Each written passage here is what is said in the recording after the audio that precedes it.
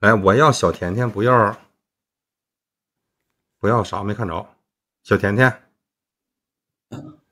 听得到吗？怎么怎么事儿？能听着？嗯，我之前看你的作品上说是美国税收，呃，三十七个点，对吗？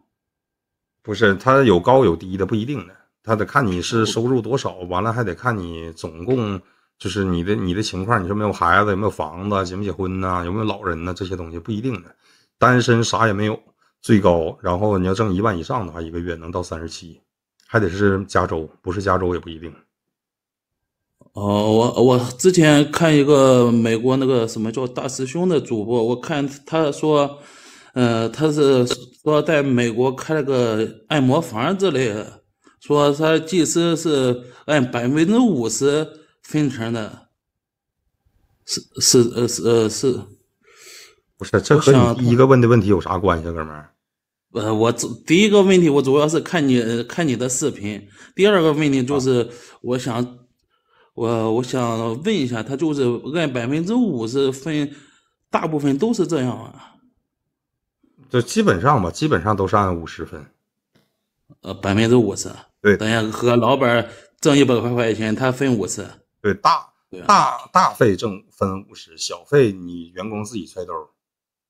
哦，他他的挣五百分之五十，然后他就是在综合税收，然后他再分走一百分之三十。不是，就是客人掏一百，你就一人五十，完了他拿五十再加小费。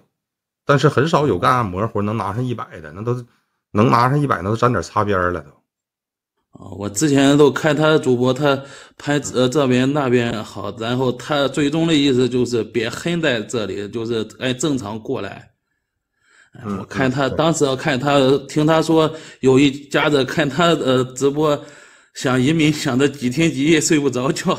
嗯，没没没意义，就是那种盲目盲目崇拜的那些人，能拦就拦，拦不住那你就让他那啥去吧，你就让他去让他去去去去。尝试一下去，是不是？是不是？是是。嗯，你要你要是觉得他们还还有救的话，你让他来看我直播，我可以跟他唠，我可以告诉他真实啥样。